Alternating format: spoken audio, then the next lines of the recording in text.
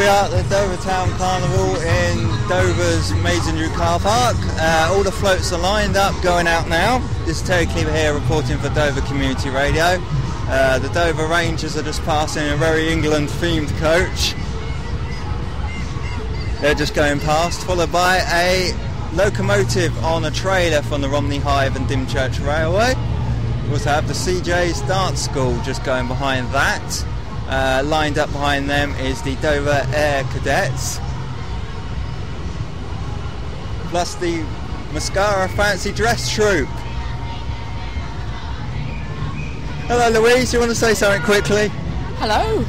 and what are you dressed up as today? Um, I'm with my husband, Mike Myers. I'm his groovy chick in my 60s kit. Fantastic, you look really colourful today. And this is for your new costume shop, is Absolutely. it? Absolutely. Mascarada. It's based in Dover. Everyone can come. I've got 352 costumes. You can come and hire. I see you got Danielle here dressed up as Red Riding Hood as we well. We have. And if you look in her basket, Danielle, turn around. We came first in oh, our that's class. fantastic. Well done, girls. There's 35 of us all dressed up today. And you've got various characters here today, have you? Absolutely. We've got Cruella de Vil, uh, Saloon Girls, Buzz Lightyear's over there. We have a Padre, a Mad Hatter.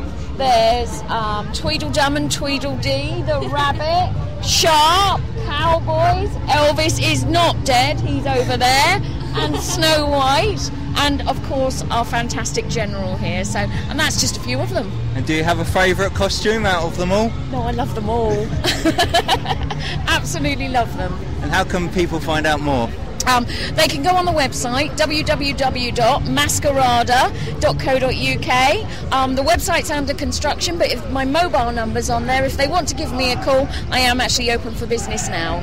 Really? What? What? what the shop's open? Uh, no, you... I'm actually got it running from home at the moment. I'm afraid my husband no longer has an art studio, so yeah, we are up and running. And you're off now, so I'll let you get on, shall Thank I? You. Thanks very much, Louise. See you later.